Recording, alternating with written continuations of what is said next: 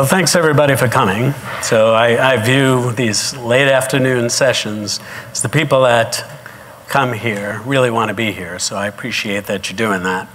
And hopefully it'll be an entertaining and informative 40 minutes or so. So my name is Scott Perry. I'm the auditor in the room. So I come, you know, I have a different vantage point as it looks at, you know, as I look at blockchain networks. Uh, I look at trust as a key aspect of what blockchain technology brings to the marketplace and the internet. And so, you know, I look at things, you know, a little differently. You know, this is a technology-oriented um, conference, but um, it seems like there's a lot of bantering about with the word trust. And um, we're gonna, in this presentation, we're gonna kind of get into the details of kind of deconstruct what trust really is and how do you create trust in blockchain networks or the internet itself. And so, why do I even have a position on that? Well, just to introduce myself, um, so I, you know, I'm a career IT auditor. Uh, I was around, I'm based in Seattle. Uh, I was around when the internet was kind of forming. I was the external auditor for Microsoft and involved in e-commerce security standards, the creation of certification authorities, and, um, and now I audit certification authorities. So uh, my clients are those that are trust anchors on the internet. Matter of fact, they issue security certificates for about half the internet, and I'm their auditor. So I'm the closest thing to a kind of an internet judge, at least that's what I tell my kids, you know, so they think better about what I do, you know. So I am looking, you know, continuously about unique aspects of cryptography. And blockchain, you know, came to my attention five years ago before Hyperledger was even around. And so I was around, you know, with the formation of some major players at this conference, Sovrin and CULedger, um, and advising them around the education around what does it mean to build trust and so gonna, I'm going to give you some insights around how you actually, what is trust and how do you create digital trust? And what are the aspects of, of blockchain that adds to digital trust? Why does it make it you know, unique? And why, if you're building applications in the marketplace, where would you target? From a trust standpoint, because this adds a certain layer that didn't exist before. And hopefully we'll have you know, enough time to go through all the material and get a chance for any questions, ask the auditor anything, you know. So you start with, okay, how can we build trust without even knowing what trust is? And if you look, kind of the Merriam-Webster you know, dictionary definition of it, it's all it's all human terms of aspects of how I trust. Usually in a trust situation, you know when you don't trust someone, but you don't, it's, it's odorless, it's colorless. You can't really, you know, define necessarily what trust is. Philosophers have tried to do it since Plato, you know. But as a professional that deals with kind of the IT environments, you need to have some mathematic creation to it. And it's a predicted level of, sorry about that, predicted level of confidence. And that's where we want to get to, okay?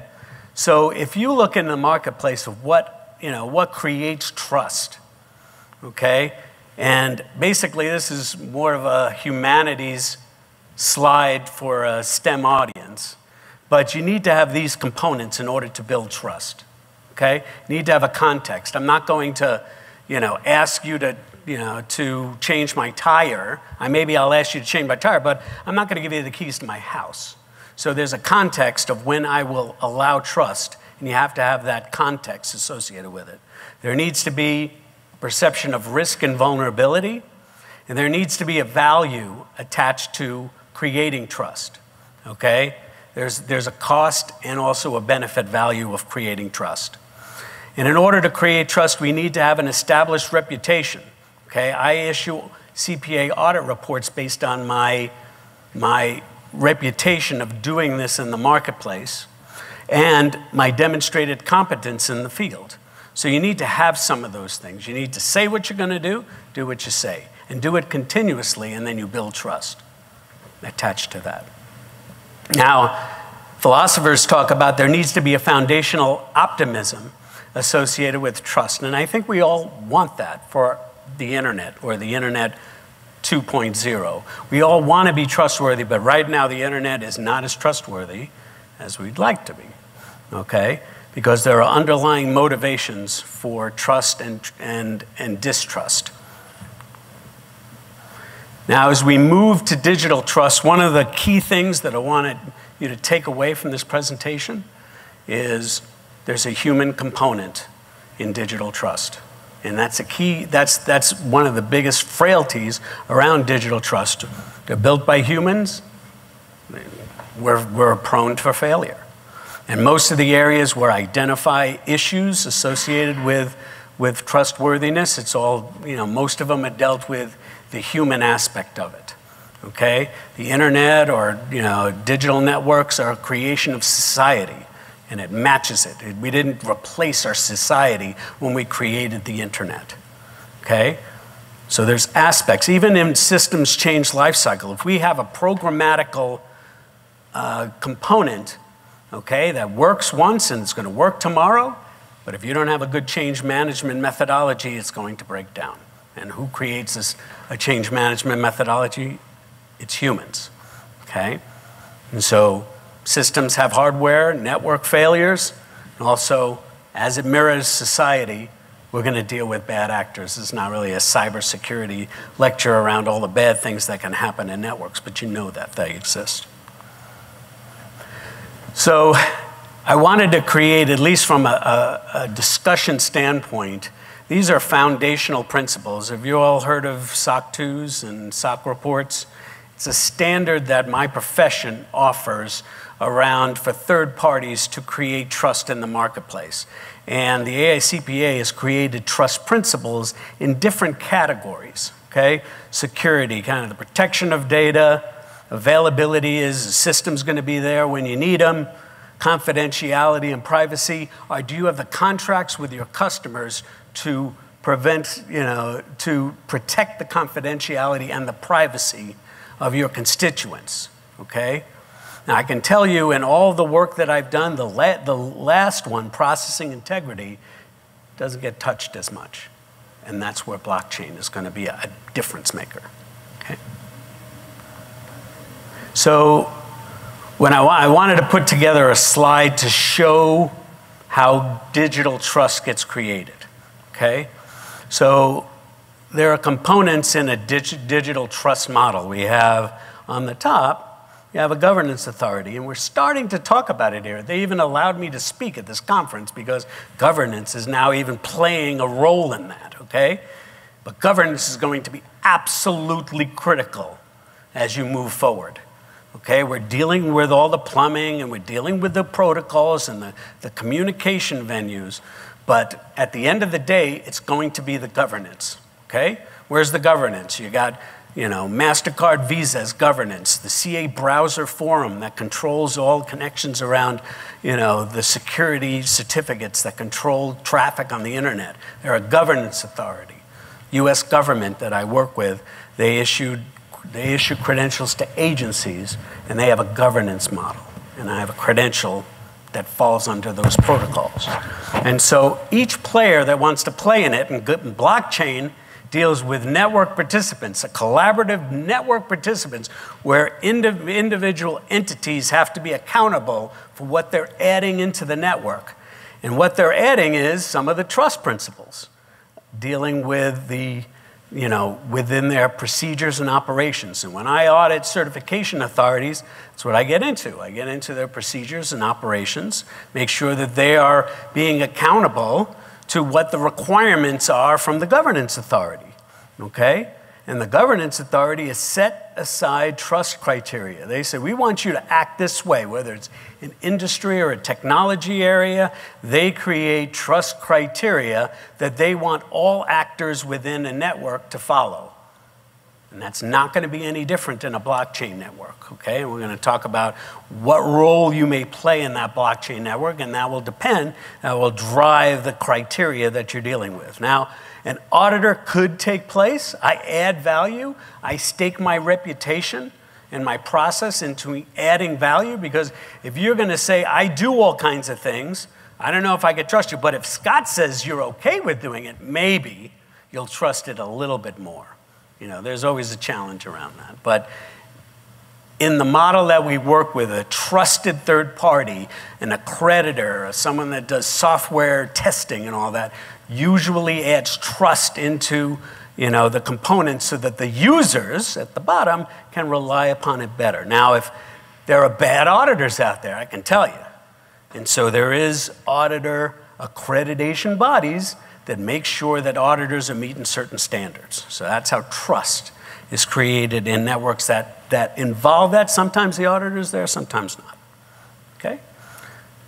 So, for this presentation, I don't have to go over to the detail, but I'm going to be giving this presentation to professionals in, in my arena you know, that don't understand these terms about blockchain networks. And I'll be educating them around what these things mean. But I'm not going to talk about it. But what I'm going to say is the aspects of blockchain networks, the key trust components that I see in the marketplace, add these things and they relate to the trust principles that we talked about right here.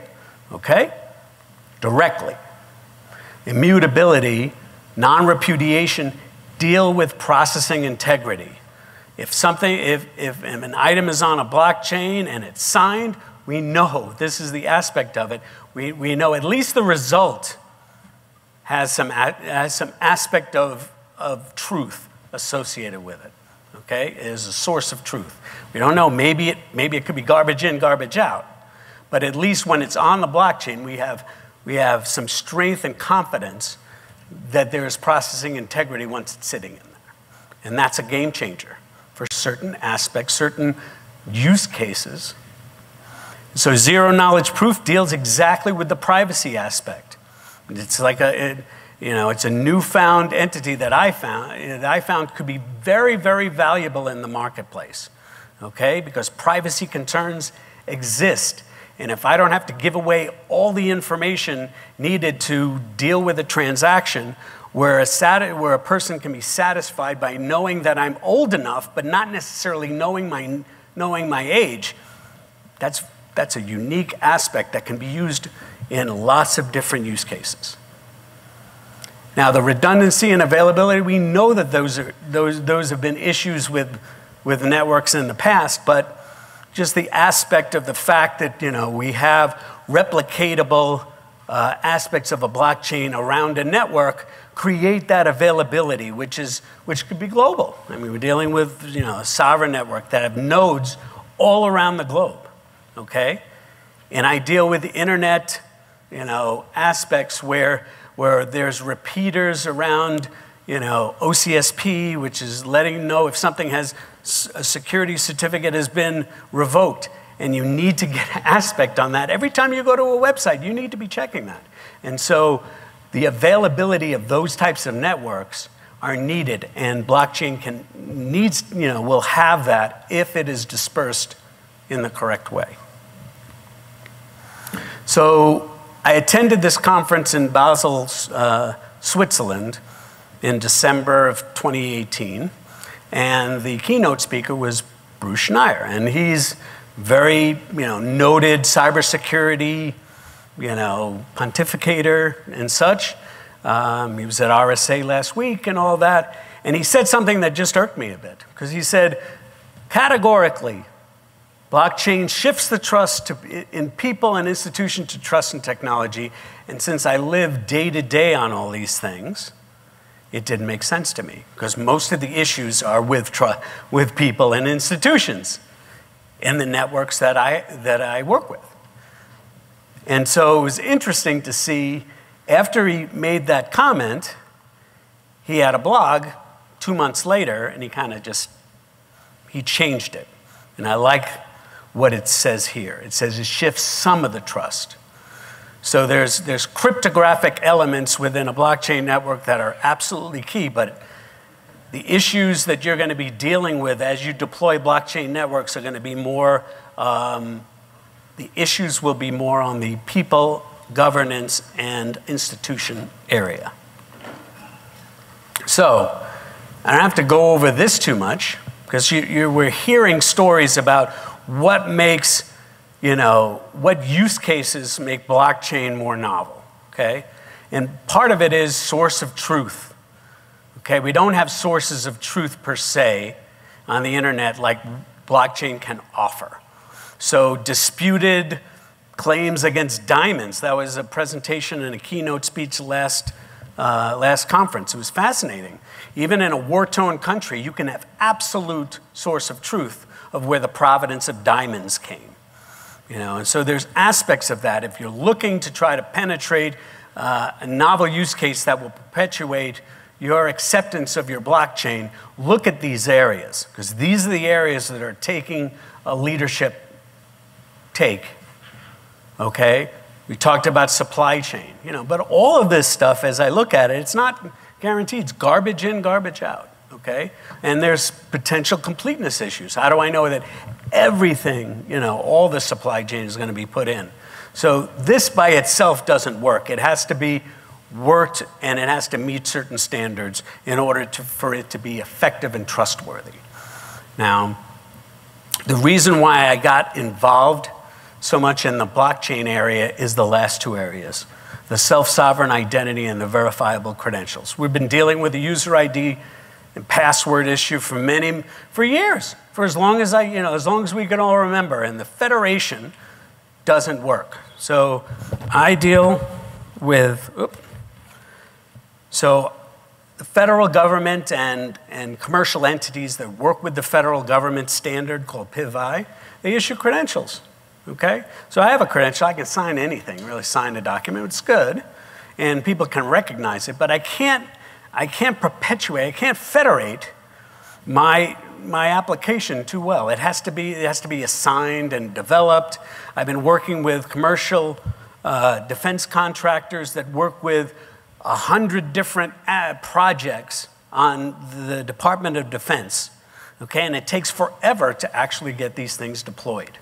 And then, so we have a we have a duplication problem. I mean, it just doesn't work, and it can't it can't scale. And so this is an avenue where it could scale. Now, the challenge is, you know, for self-sovereign identity and verifiable credentials, you know, we're taking digital credentials away from the wallet and using it. It's going to take a massive effort, the same kind of effort that it took for the internet, and that's another takeaway for this. So, from a verifiable credential standpoint, this is very similar to what I deal with, okay? So we have issuers, and I audit the issuers. They issue your credential based on certain standards. You got to give certain level of criteria, your, your passport or whatever, that would prove that you are who you say you are, enough to the point where the issuer will give you a credential. And now you're relying, relying on the credential of the issuer or the reputation of the issuer. Okay? If it's your, you know, if it's if it's your gym membership company, you know, it wouldn't be a of value for you know, transferring money in a bank. So you have to look at the context of issuers. But at, at some point, I, I am, based on, I, my identity is dependent on, on credentials that have been issued to me. And that creates that, that identity that I can then present to verifiers who care about that. So if I want to go past the TSA line, they're going to look for certain credentials I have in my digital wallet okay? And they don't have to know that the credential that was issued by the state of Washington, you know, they don't have to look at that. They just have to know that it has been created and it's in my digital wallet. And they can be able to prove that using the technology that is being built today. So, in essence, I, I with the technology, I'm able to write my decentralized ID the issue will create that. I have a public key and it's available. Okay? It's available because I have redundancy of the network and I can, you know, So in, I don't have to worry if I'm going to the TSA, is the network going to be available? It should be available, and it has to be if, it, if it's going to be viable for these activities. So the issuer will sign my digital credential and it'll be put it into my digital wallet, and then I can offer that as proof. The verifier will read the fact that that public key is mine, and they'll be able to prove and verify I am, at least I, that, that the credential that was issued is actually meeting the standard that they require, okay? They require a certain list of digital credentials, and you have to follow those, that governance framework that exists. So there's no integration needed between the issuer and the, valid, and, and the verifier. How did I say it, Drummond, right? This is, there you go. I said it in my own, my own way on that. So if you're looking, now we're looking at the communication protocols around a blockchain network. Now, if you're thinking that it's only these lower levels, these are the cryptographic layers, okay? This is where, you know, at the lowest level for a, you know, a network that's dealing with self-sovereign identity, we're dealing with data that's sitting on public ledgers, distributed ledgers, and also the communication protocols that appear on wallets and your on smartphones. Okay? And a lot of those are driven, they're still needed to have governance frameworks driving it. Who's allowed to be a steward? Who can be a node? You know, there's protocols as we're working with the Sovrin network you know, they want to qualify. Not everybody can be a steward. Okay, you need to have certain, you know, your organization, you know, hadn't been sued or you know been brought to trial by a jur- by a jurisdiction. It has to be a going concern for a certain time. There needs to be confidence that you'll that you'll hold your end of the bargain, you know, within the aspect of just being a steward okay? Because you, you know, as a steward, you're holding up the reputation of the entire network. So there are protocols associated at the lowest level. And then here we're dealing with transactions on a public network. Who's going to do it? You know, who's going to have the rights to do that? How is it going to be done? Okay, all of those things need to be identified within the framework that's driving a blockchain network at the lowest layer.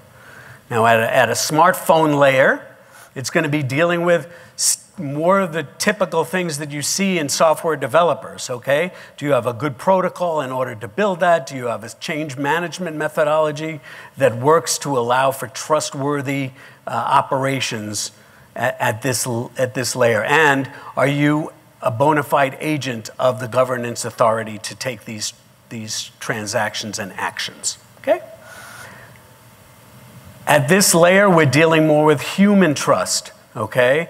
So if you want to be an issuer or a verifier within, with, within this network, you're going to have to follow through on protocols, trust criteria that you will potentially be accountable. At least you'll assert to the marketplace that you are, that you are doing what you are being asked to do.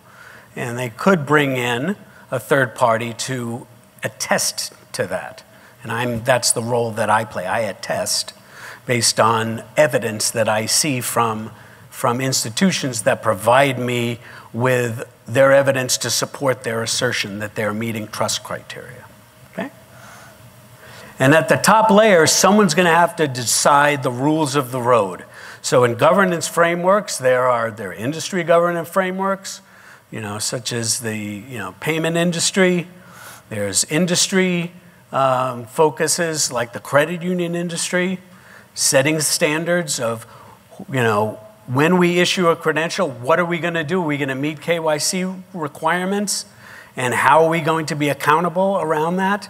And the key thing is if I issue a credential to you as a participant, what purpose, what is the what can you do with that? What evidence do I provide you to get that credential? Okay, that would allow you to do a certain transaction, okay? So they need to be matched up. I don't want to, you know, I don't want to issue, you want to have a governance authority issuing credentials from a, a non reputable issuer that doesn't look at any, creden- any, any evidence. They'll just throw you credentials without looking at are you, are you who you say you are? And then you can use that transaction to, to do bank transfers. So you need to have a matching of the issuance of a credential. That credential has to have a certain strength when you issue it, because that strength needs to be matched out with the actions that you can take with that credential. So as you add blockchain, you can add the blockchain credential registry to this trust framework. So I, as an auditor, I can, I can put credentials on, on the blockchain saying that, yes, it was me. Scott Perry actually issued, you know, a report to, a, to an entity and, and there's evidence associated with it. And there's a trust anchor that can issue credentials, and it can be backed up on the, on, on the credential registry. And we're seeing a lot of that with great work. Hopefully, you've had a chance to talk to John Jordan and some of the folks in the BC government because they've created a fantastic credential re registry for business licenses in that territory. And so it adds value to a trust model based on that. So as I look, and, and from my vantage point, uh, looking at kind of the trust model uh, within blockchain, I look at it in kind of four layers. You know, you got to have a chart. You know, you, got to have a triangle in any presentation. You know that. And so, two, I look at it as from a system centric and a human centric. Okay, so there's there's aspects within the ledger, and then you got to talk about data user, and then the governance model. So I'm going to go quickly through, and then we'll have a chance for any questions that you guys have. So at the ledger layer, these are the issues actually in the, you know, as I was working with the Sovrin Foundation, these are the issues that they've been dealing with. And these have actually been uh, architected in the Sovrin governance model, and I encourage all of you to go check that out because I think this is, this is state of the art work. I mean, there wasn't any precedence for all this, and we moved forward and we looked at, well, what are the requirements at, at a blockchain ledger layer that needs to be what policies, procedures, and requirements need to be built in. So whoever is going to participate, you got to have some criteria around it because most of these will be permissioned, not permissionless. You have to be part of a network, and you have to, you know, you have to bring certain things to the table. You know, credence, an ongoing, you know, an, you want to be an ongoing uh, entity you want to have a certain amount of compute power. You need to have network availability in order to participate in this network. And yet, I don't think that, that the Sovrin network is going to allow my friend Fred Furrier in Tanzania, Africa, to be a core uh, steward, to, you know, to anchor the validation, uh, you know, to be a validator node. Maybe it'll just be an observer node based on the aspects of what he can bring to the table, the accountability that he can actually afford to bring. And so these are the aspects, you know, these rules of the roads need to be identified. When do we actually establish that we need to have a fork? Okay, they better be thought of prior to an event happening. And I deal with, with that in the networks that I currently work with. So, on a data management layer, these are some of the issues that we're dealing with as well. Who gets to read? Who gets to write? Is there anybody, you know, who doesn't know what a tombstone? I didn't know what a tombstone was. And a tombstone, so you think that everything is immutable on the, uh, on the blockchain. Well, it is. You can't touch a tombstone, but maybe you could, a tombstone would be kind of like a, a, an air, an, a piece of data that kind of gets away from the active uh, access you tombstone something. It's, it's on there, but it's kind of, it's identified for, for non, non-availability. Is that a fair statement to those that know better? Okay, good. And so we need to define smart contracts. You know, how are we going to deal with all that? And Sovrin has just put out a new token. Need rules of the road. How are we going to you know, how we're going to issue tokens, how we're going to monetize transactions. All of these things need to be identified in a layer of governance, policies, procedures, and such. The other thing is user management. Who's going to touch the, who's going to touch the blockchain? Who's going to administer it? Who's going to allow for that? Okay? and provisioning. How are we going to bring in new entities, new nodes into the network? You need to have rules of the roads of how that's going to happen. And it's absolutely key, you know, because it's still a user generated network. And at the top layer, these are the types of things that need, that need to be identified. At a, at a risk assessment and management layer, what's the use case? What can go wrong within your application? Okay, and so what level of strength and, and accountability do you need that would match the use case that you're trying to deliver? And so that's an, a risk assessment and a risk management is absolutely key to, to require in any governance structure of a blockchain. And so we talked, you know, before we, we talked about the trust criteria. What are you going to hold all of your participants accountable? What policies, procedures, what control principles do they need? And okay, if we're going to introduce new policies and procedures, how are we going to do that? You know, how are we going to allow change to the network? We need to have some kind of voting protocol to allow for those things to happen. And are we going to add trusted third parties into the accountability of the network? And uh, obviously, there's, there's, you get the, you know, there was a conversation about bringing all the lawyers in. They're the first ones that come in, okay? They want to make sure that all of their aspects are being represented. So, so that usually is part of your governance layer. So, as, so 25 years ago, I gave a presentation to 200 cybersecurity professionals. And at the time, uh, I was you know, leading the effort for Deloitte and Touche in, uh, in e-commerce security. It was brand new that we just created. It was an offering we created. And I gave a presentation. And at the time, you only had FTD Flowers. That was the first e, you know, e you know, e-commerce application that was out in the marketplace. There was another one that went to, a, I was at a conference and they were just starting in their, uh, in, in their offering, and that was Amazon, and they were just selling books.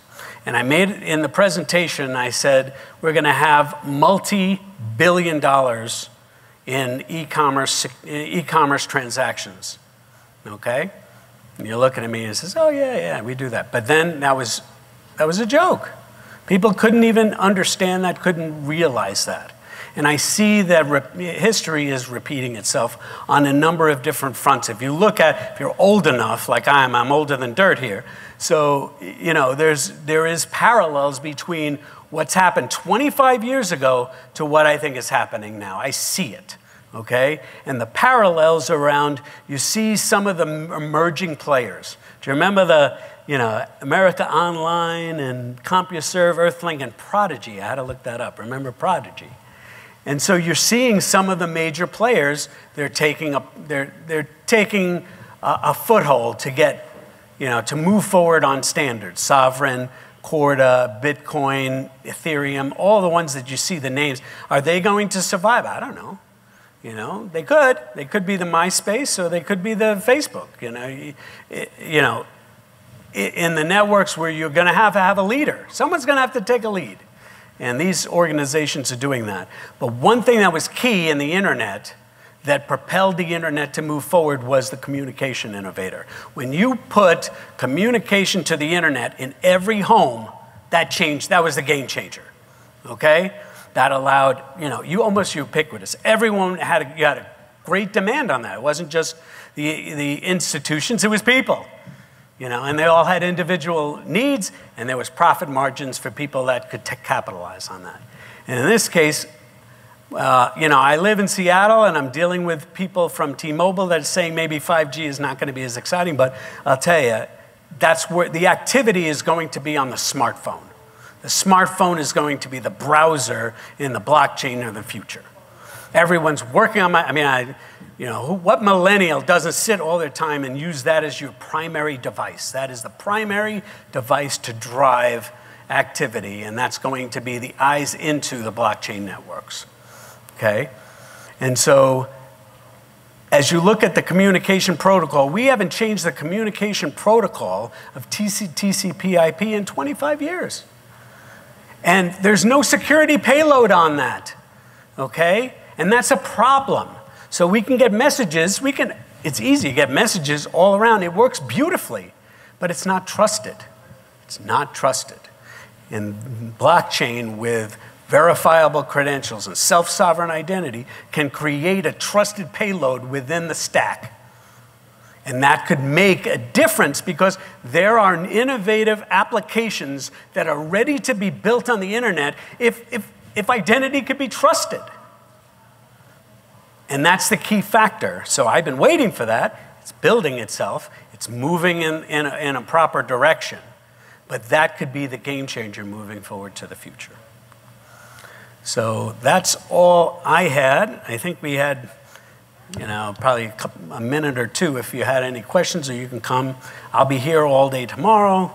Can have a whole conversation about trust. I really appreciate you attending my presentation. Thank you very much.